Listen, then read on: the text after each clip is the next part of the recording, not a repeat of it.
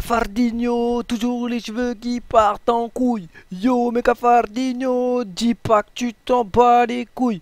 Yo Fardinho, on se retrouve pour un tuto. Yo Fardinho, c'est bientôt les 30 000 abos. Pouh Bouilla, les cybercriminels, tout ça, tout ça, tout ça, tout ça, bien ou quoi? Alors aujourd'hui vidéo, t'as le ouf, t'as les ouf, t'as les ouf. On va faire une vidéo un peu complète sur pas mal de choses.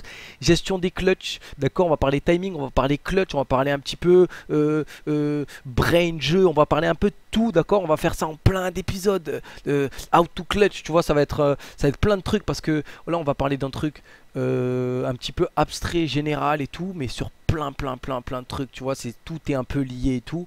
Donc, euh, soyez prêts pour cet épisode et pour les prochains, on va pas se mentir. Donc, let's go. Et on lâche, on lâche des likes, on lâche des likes, on lâche des, des commentaires, on fait péter les statistiques, la boîte à statistiques, le référencement. Vous connaissez la musique. Moi, j'ai pas peur de demander, moi. Moi, je demande au Cafardino. Si t'es un vrai, tu soutiens. Si t'es pas un vrai, tu vas voir les, les, les tutos d'autres personnes. On va pas se mentir.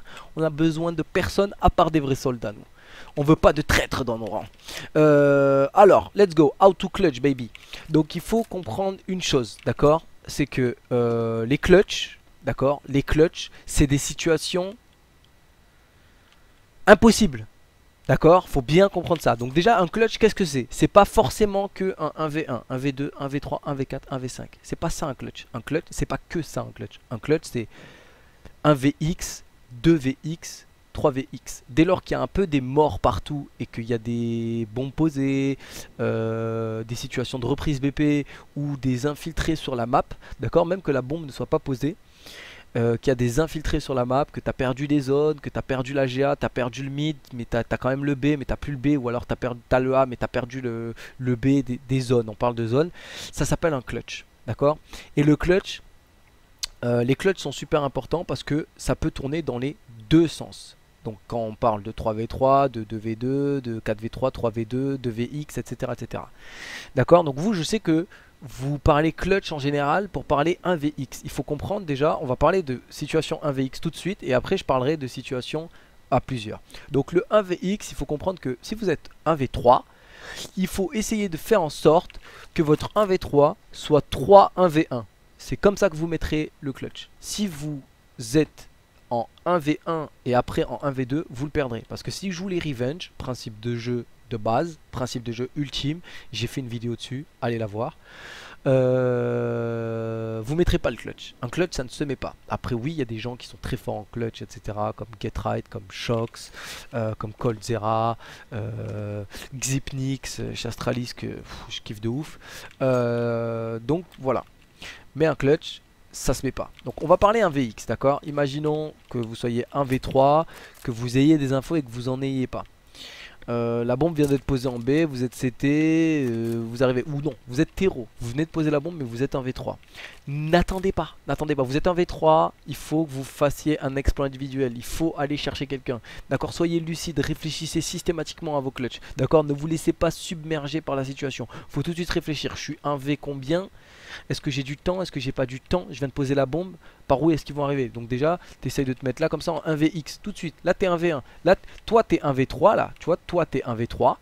Mais à ce moment-là, tu es 1v1. S'il y a un mec auteur qui vient qui te challenge, tu peux lui mettre un headshot et là tu es un V2. Et après t'attends ici, t'attends, t'attends, t'attends, t'attends, t'attends, t'attends, t'attends un mec qui vient te chercher, hop tu le tues et après t'es en 1v1. C'est ce qui peut se passer. Mais n'attends pas, n'attends pas que eux rassemblent leurs forces euh, en mode euh, le mec il a, il arrive hauteur et les deux sont spawn CT par exemple. Et, et, ils sont là, ils sont là et on attend et on attend. Et là tu te montes pas, tu te montes pas, tu te montes pas. Tu sais, tu joues le temps, tu veux jouer malin, tu te dis ouais c'est smart et tout ce que j'attends, j'attends, j'attends, j'attends, j'attends un maximum de temps. Non, parce qu'après ils vont être trois devant ta gueule là et c'est mort. Tu, tu vas pas venir faire moins 1, moins 2, moins 3, c'est pas possible. Tu le feras une fois tous les 1000 ans ça. Enfin, faut pas déconner. Donc le 1VX, il faut essayer d'isoler les gens. Il faut essayer d'isoler les gens un maximum.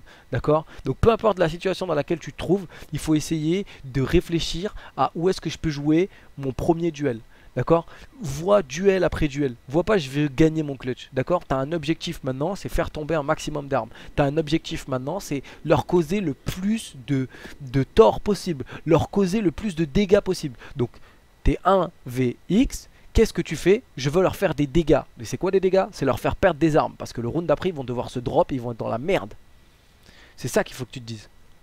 Donc on isole les gens en 1VX. Ok, maintenant quand on est 2VX, 3VX, etc., ça se joue exactement de la même manière. On essaye d'isoler un maximum les gens, d'essayer d'aller sur le côté le plus ouvert, le côté où on va jouer le plus de duels, le côté où il y aura le moins de crossfire possible, le moins d'emprisonnement de, possible.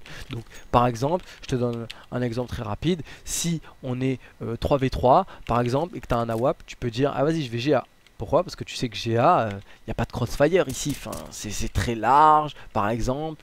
Euh, c'est comme ça. Hein. J'ai fait euh, des vidéos sur le principe de jeu, le brain, le brain, la vision de jeu, épisode 1, épisode 2, épisode 3, etc. Allez les regarder. Je parle justement des, zones ouvertes et des zones fermées, etc. Donc vous essayez d'aller déjà sur des zones ouvertes, des grands angles, des grandes visus où vous allez avoir que un duel, ou que un. C'est systématique, c'est sûr. Tu vas pas avoir 3 CT en mode to be free. Ils sont là, ils font une chorégraphie devant toi. C'est pas, pas possible. Là, tu auras juste un mec systématiquement qui sera là comme ça. Et là, c'est ton opportunité de gagner un duel, par exemple. Donc, euh, c'est pareil. C'est le même principe pour la hauteur, par exemple. Tu n'auras pas trois mecs qui vont arriver hauteur ou des trucs comme ça. Enfin, même s'ils arrivent à trois hauteurs, euh, ils seront pas alignés comme ça, regardez le même endroit, c'est pas possible qu'ils viennent et qu'ils regardent ici. Tu sais très bien qu'il y en a qui vont regarder là, il y en a qui vont sauter directement, il y en a qui va être en train de recharger. Donc tu sais très bien que là, tu es en 1VX, là, tu as un AWAP, hop, hop, tu prends l'AWAP ou alors tu prends ta ligne spawn CT, hop, tu joues, puis après hop, tu joues là-bas. C'est ça les clutches, d'accord? Comment clutcher? C'est isoler un maximum de gens, euh, aller tout de suite sur les côtés les plus faibles, enfin se dire que là-bas c'est le côté le plus faible, jouer les longues distances, essayer de causer le plus de dégâts et on y va étape par étape on fait un kill, puis après un autre, puis après un autre. Ok, on a vu ça. Maintenant, on va s'attarder sur le sujet euh, timing, sur le sujet timing du clutch. Euh, soyez toujours, toujours, toujours réfléchi en clutch. Il faut énormément réfléchir en clutch. C'est là qu'il faut se dire côté faible, côté fort, euh, côté ouvert, côté fermé, combien de temps il me reste, est-ce que la bombe est posée, est-ce que la bombe est pas posée, est-ce qu'on a la bombe, est-ce qu'on n'a pas la bombe, quelle zone on a, quelle zone on n'a pas, est-ce que c'est mieux d'aller en B, est-ce que c'est mieux d'aller en A, est-ce que c'est mieux de passer par le mid, est-ce que c'est mieux de passer par la corne, est-ce que c'est mieux de passer par le tunnel, c'est ça qui, c'est à ça qu'il faut réfléchir tout de suite avec les coéquipiers ou pas les coéquipiers, c'est dans les clutches, dans les moments comme ça où il y a beaucoup de pression, où il faut communiquer le plus. Et c'est là où vous allez euh, vous euh, être le plus à l'aise après parce que c'est dans les situations merdiques où vous allez tout de suite le plus réfléchir et donc forcément prendre l'ascendant parce que vous allez faire des choix groupés. Et euh, une astuce très simple en 1VX, quand ça touche la bombe, etc., comptez dans vos têtes. Systématiquement comptez. Je parle de bombe posée. Là, le mec, il touche la bombe, tu comptes. Il lui faut 5 secondes pour diffuser une bombe, ou 10, s'il a un kit ou s'il a pas de kit. Donc tu sais déjà que si c'est en écho, et que tu es en VX en écho, bah tu sais déjà qu'il leur faut 10 secondes. Donc ça sert à rien que le mec touche la bombe et que tu décales. Ça sert à rien. Cache. Le mec touche la bombe. 1, T'es dans ton move, t'es comme ça. 1, 2, 3, 4, 5, 6, 7. Et là tu vas et après tu te recaches. C'est ça qu'il faut faire. On compte, d'accord? Compter. Pourquoi tu comptes? Déjà ça te permet d'être focus, ça te permet de réfléchir. Parce que quand tu comptes, ça te permet de rester concentré dans ce que tu fais. Ça te permet d'avoir une seule vision des choses dans ta situation de jeu. Je compte tout le temps. Dès que je suis en clutch, je compte. C'est-à-dire que même quand j'ai posé la bombe, bombe has been planted, je compte. 1. Parce qu'elle dure 40 secondes la bombe, je compte. 1, 2, 3, 4, 5, 6, 7. Parce que je sais, je sais combien de temps la bombe elle va péter, je sais combien de temps je vais avoir, je sais que je peux jouer avec le temps après un certain temps, et, je sais s'il faut que je joue le temps s'il faut pas que je joue le temps, s'il faut que je joue l'exploit, s'il faut pas que je joue l'exploit en clutch, c'est parce que tu comptes, d'accord? Faut être au courant que la bombe dure 40 secondes, euh, comme toi en CT, hein, comme toi en CT. Hein. C'était toi même en CT, t'es là, tu touches la bombe et tu vas chercher 1, 2, 3, et là tu vas 4, il a rien, ok. Tu retouches la bombe, 1, 2, 3, et hop tu décales large, y a rien. Euh, là tu t'es fait brain, le mec il est dans ton trou de balle genre. Enfin faut pas se mentir, enfin, il t'a contre brain où il a une visu, il est là-bas derrière, il t'a vu fake ou des trucs comme ça. Mais même en CT, euh, éviter de toucher la bombe et step après faire du bruit et tout. Non non, tu touches la bombe et tu slow. 1, 2, 3, 4.